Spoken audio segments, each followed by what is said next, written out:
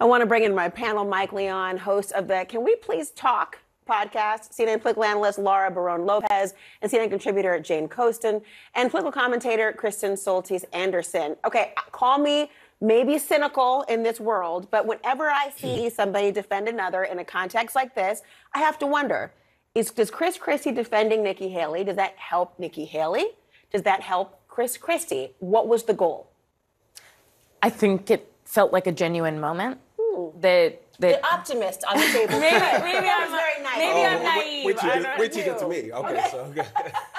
Look, sure, maybe, of course. Uh, there's always motives behind any moment like that. It did feel a bit genuine, though. He has known her, as he said, for a long time. And clearly, he was very frustrated by Vivek Ramaswamy and what he felt like were unjustified attacks, and someone who, uh, like he said, has not always voted consistently in election cycles, has not voted consistently in a Republican primary, and is now trying to run for the presidency. So, uh, you know, whether or not, look, they're all running for second place right now. This is not they're not uh, anywhere near. They're double digits behind the front runner right now. So this is not going to make some substantial impact in Chris Right. Christie's ability to. These are four people who all have something in common with all of us, which is that they're not going to be president of the United States. Right. But I think it was also a moment in which you saw a clear divide in who people were trying to talk to. Vivek Ramaswamy is not a populist. He's online. He is talking to an online audience that uses words like based and responded to his great replacement theory mentioned by getting super excited that someone said it, someone brought it on. He's not talking about industrial policy. He's not talking about the working poor. He's talking to an online audience. Chris Christie and Nikki Haley are at least talking to people who are not online, people who respect them for having gubernatorial experience. And I think that that was a moment of solidarity looking at someone who is representative of a non real coalition. Yeah, but then where's the party going? I mean, is it the anti-establishment? Is it the online? Is it the people who would be receptive to what Haley and Christie said? What do you think? Well, well, first off, it's ladies' night here. I don't know how I got into the studio, so that's first. But um, Laura was just mentioning this, and, and Jane too as well, about second place. I felt like I was watching an NBA preseason game. Star is not playing in the game. I've got some backups. I got some subs in there. I've got a rookie who doesn't know anything, and Vivek, and he clearly showed that throughout this entire debate.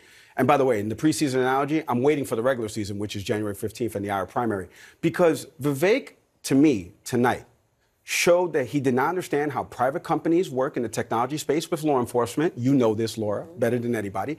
He showed to me that you don't know what people do after they leave public office, which is they either join TV, they write a book, they teach at a, at a law school or a professor or something like that. Like he had no basic understanding of what people do after they leave DC. And if, for him to attack Nikki Haley for some of these boards that she's been on, there was a Washington Post article about how transparent she's been with the money that she's gotten, and she's disclosed all of this stuff. So I, I thought that Christie stood up for her. I like that he did that. Christie had a bunch of tepid responses from the crowd, if you heard, when he called Trump the dictator, and people were booing him in the in the crowd.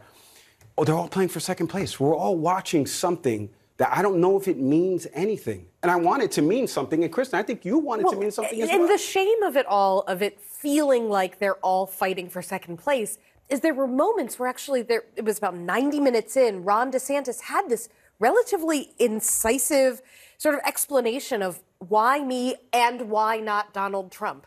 And in Nikki Haley's closing remarks, she had a great case for why me and why not Donald Trump. The problem is that was the first question they were asked. They could have got that out in the first five minutes of that debate, and instead they waited for the last quarter of it when people had already tuned out. And this needed to have been the message they were delivering from day one with strength, because at this point you're you've almost run out of time. Not I gotta- who's your, not who's your favorite president. Yeah, I got to quote Talladega Nights because why not? Yeah. Um, there's that famous scene when he says, "You know what second place is? The first to lose," and that was my accent putting it in as well. But there is a second place. You're talking about politics. There's a vice presidency. Are you suggesting that Nikki Haley, Vivek Ramaswamy, Chris Christie, or Ron DeSantis are vying to be the vice president? Because I can tell you, part of them will never be. I don't know who might be. I think half of them on the stage, DeSantis and Ramaswamy, would be more likely to potentially be Trump's vice president.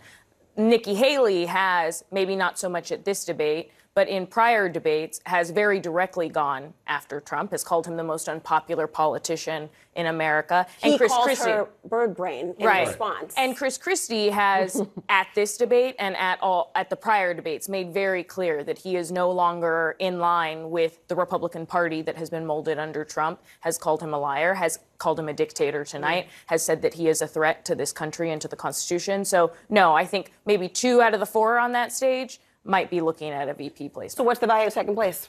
I mean, I, I think the value of second place is that we all know who these people are. We all know Vivek Ramaswamy. We all know who this person is. And but I, I just keep being struck by how much the Republican Party has changed in that it has been a contest from Vivek and from DeSantis and from others to sound like Trump, but better than Trump, but still like Trump. Because everybody likes Trump, but why can't Trump be president if everyone likes Trump? It's this mm. endless question that they seem unable to answer. That if you want to sound like Trump and you think that Trump was a great president, then why shouldn't they just vote for him? It's like trying to explain why you want caffeine free Coke. no one wants caffeine free Coke. And you know, to that point, uh, on our latest episode, Can We Please Talk podcast, you can check it out wherever you get your pods. Um, I have to throw that Where in. Well, you there. have caffeinated That's, Coke that's available right. for people as Yeah. well. No, Good. we do some Coke Zero in There there. you go. Um, but we had uh, Washington Post uh, national politics reporter, Sabrina Rodriguez, and both of us went to the third debate in Miami. I, I've got family members. I'm Cuban. I live around the Trump flags and uh, Let's Go Brandon T-shirts.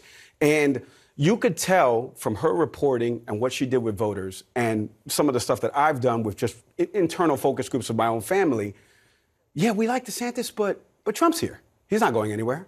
Oh, yeah, I could get convinced for Nikki Haley, but but Trump's here. So they're all doing the I could, I could, but it's Trump is still here. He's still here. He's still not going anywhere. And Mitch McConnell had a chance to wipe this all out. We all know, and he didn't do it.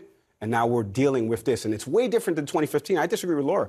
I don't think any of these folks are vying for any cabinet positions or anything with Donald Trump because, uh, well, Vivek maybe. Okay, fine. I'll give you half of one. I think he's already in the cabinet. Yeah, I think, he, I think he may be I'm already in the cabinet, or he's at my the old employer down you the think street. DeSantis wouldn't take a cabinet post? He would if he was offered one. But Mm, so you think? Oh, you think he would Ooh, grab that was Okay. that was very definitive. There's somewhere there's Side a blind side the bet. blind taste test somewhere in all of this. Coke Zero, Dr Pepper, regular Dr Pepper. I don't know. It's coming around.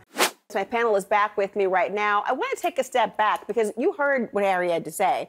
You've got this one-two punch coming. You've got the presidential election and 300 something days away.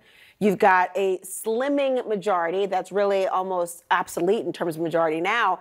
They're going to have to toe the line to hold on to their place and also get a president in the Oval Office who is a Republican.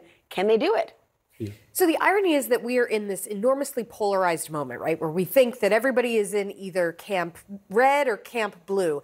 And yet what Harry said, that last little factoid there was so interesting and I think explains a lot about the angst that we are seeing as we head toward this presidential election. The idea that Republicans are not actually all unified or all in lockstep. And as we've seen over the last few weeks with the flare-ups around Israel versus Hamas, the, the Democrats are not all unified either. That we have in our country, you could argue, five, six different parties all living under the surface of this two party system. And so that's how we're having these primaries where we're going to wind up with this Trump Biden rematch that most Americans go, ugh, I can't believe this is who we're stuck with. But our system is such a strange fit for the incredible ideological diversity we actually have in this country. You know, I just wanted to mention one thing because echoed as you were saying that in my head is Representative Chip Roy a few weeks ago on the House floor yelling profusely, and we played it at the top of our show recently, about give me one thing that we have passed legislatively that I can take back to my district. We all remember that. And if you think about that, that soundbite is resonating. There's 26 seats that are potentially in play, but Mike Lawler has mentioned this a bunch to Manu Raju and other congressional folks. He's like, hey, I'm in a swing district. Like, I got to go back. This is why he voted for the Santos uh, expulsion. He's like, I, I have to go back. What am I taking back to them? Harry's piece just showed there 22 pieces of legislation, the lowest amount again, what are we taking back? And this is why maybe the debate matters a little bit because this is going to have a trickle effect down ballot. Well, you know, some people are actually taking back the district themselves, like Kevin Yeah. McCarthy, who is saying, "Look, I'm I'm I'm out at the end of the year." And there are other, you know, McHenry's out now as well. I mean, the the, the majority is slimming, but not just people who are sort of the unknown. I mean, these are very consequential figures in Washington D.C. this says a lot. And what's stunning is they are in the majority. Yeah. This they have the majority in the House, and normally the party that's in the majority doesn't see this many people saying, "I'm gonna pack it in. I'm gonna resign. I'm not gonna actually finish my full term."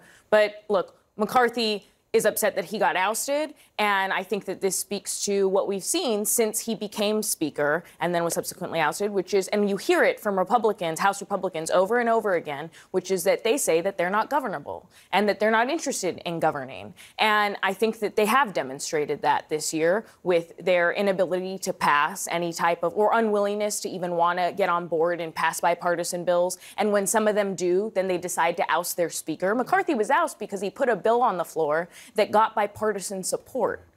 And uh, now Everybody we clutched see their pearls. that, that was like the biggest, the worst thing in the world. Right, it got more Democratic support than Republican support, but did get a significant number of Republicans, and he got ousted for that. And now we may not even be able to see any type of national security supplemental package reach the floor that would send more money to Ukraine or to Israel or even to border security because Republicans can't come to a consensus on this. Right. When I when I spoke with Representative Don Bacon, he compared members of his own party to the Know Nothings party of the 1840s. Mm. These are people he is supposed to be working with. He's talking about how when he sees Matt Gaetz, he avoids him.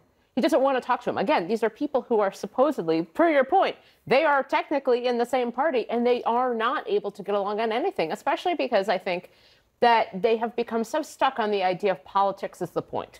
Politics is actually not the point of what they do. Politics is how they get it done, but they are supposed to be governing. But there are a lot of people who are part of this caucus who don't want to govern. They want to get a lot of attention. They want to get on TV. They want you to know their names, but they don't actually care if anything gets passed. And then you have a bunch of representatives who we don't know their names, who are, are in swing districts, who are like, hey, my district is asking, hey, can we get some like flood insurance? Can we do something about infrastructure? Can we do something about actual issues? And they're like, haha, no, no, we can't. We can't get anything done in this Congress. because the attention economy, as you mentioned, a really important point. Everyone stick around. I've loved having this conversation with all of you, particularly tonight. Donald Trump may not have attended the debate, but he'll attend a court trial tomorrow. That's next.